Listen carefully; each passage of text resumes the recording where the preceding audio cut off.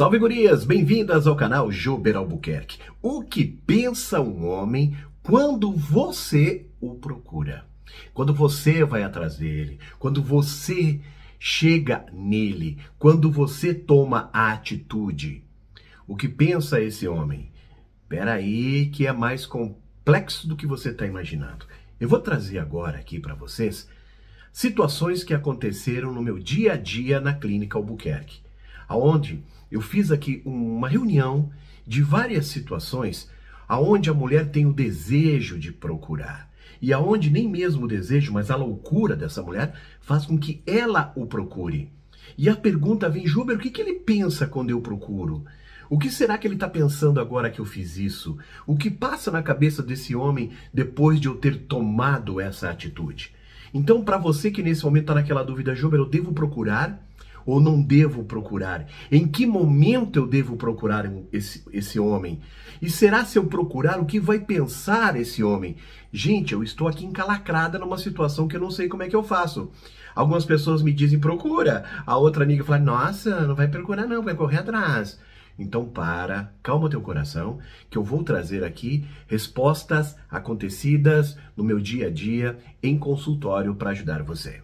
Tá bom?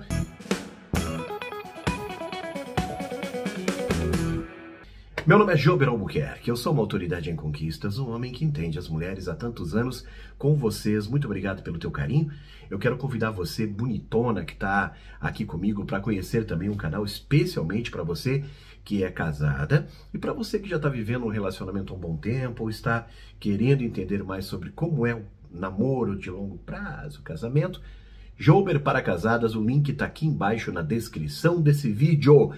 Beijo para você que já conhece o trabalho de Nelma Albuquerque, a minha esposa, que trabalha com você como sexóloga, como psicanalista clínico, e ela está sempre perto de vocês. Procura aqui no YouTube, ó. Nelma Albuquerque. E também, ô oh, coisa linda, beijo para você que está chegando agora, tapete vermelho. Obrigado, inscreva-se no canal, ative as notificações. E eu estou com aquela minha máxima que é uma campanha para a gente chegar a vários corações que estão sofrendo, que não estão conseguindo ser felizes no amor. E eu quero pedir você comigo nessa campanha que é Salvando Corações. Eu preciso que você mande, pelo menos para uma amiga ou duas, qualquer vídeo do meu canal, porque o meu braço, ele chega até você, mas de você para frente é infinito e eu preciso de vocês, tá bom? Manda para alguém e aí se você quiser põe Jobre, olha, tô participando, Manda um beijo para mim. Quero mandar um beijo aqui hoje para Lucimara Guimarães. Tudo bom, Lucimara? Beijo grande para você. Ela é brasileira que mora na Argentina, em Buenos Aires. Grande beijo para você. Obrigado pelo carinho, tá? Obrigado por compartilhar comigo. Agradeço a todos vocês aí. Bom, depende da situação, o que pensa um homem quando você o procura. Vou trazer para vocês aqui a primeira situação da minha querida Dileuza, uma das minhas uma das minhas pacientes. Ela falou: "Jober, o negócio é o seguinte. Eu quero muito ficar com esse garoto, eu quero ir para cama com esse homem, eu quero ele, porque eu acho ele o máximo, acho ele uma delícia. Pega mal eu chegar para esse cara, procurá-lo e querer fazer uma bobiça? Olha só, de cara uma situação que vai pensar esse homem quando a mulher chegar para ele e falar: Olha, eu quero dar uma gratinada aí, mano, bater coquinho. O que que pensa, como pensa o homem? O que que a gente pensa nessa hora?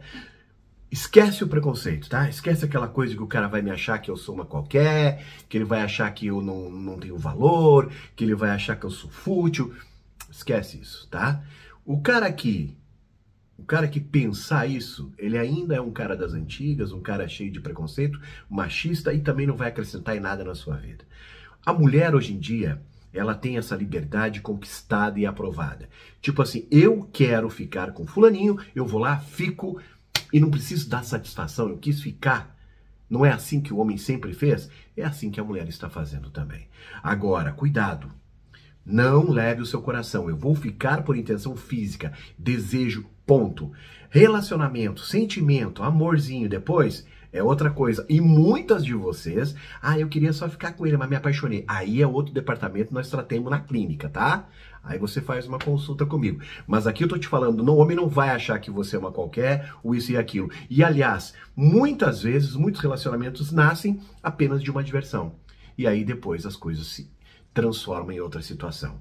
Jober, uh, a outra situação que eu tratei. Jober, olha só, eu quero que ele volte para mim.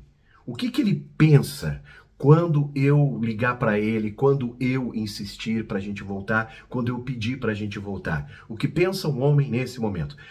Vamos lá. Se o cara realmente tem um relacionamento de longo prazo com você, vocês tiveram uma discussão, tiveram uma situação aonde vocês dois amam-se, mas brigaram e tiveram problemas naquele relacionamento, primeira coisa que eu peço para você, segura tua onda, dá uma respirada, não procura logo em cima, não fica ligando, ligando, ligando ou batendo na porta, porque aí o cara vai dizer que é chata, tá desesperada, eu sou o cara, e aí vai, vai, vai, vai se valorizar e vai dificultar a situação.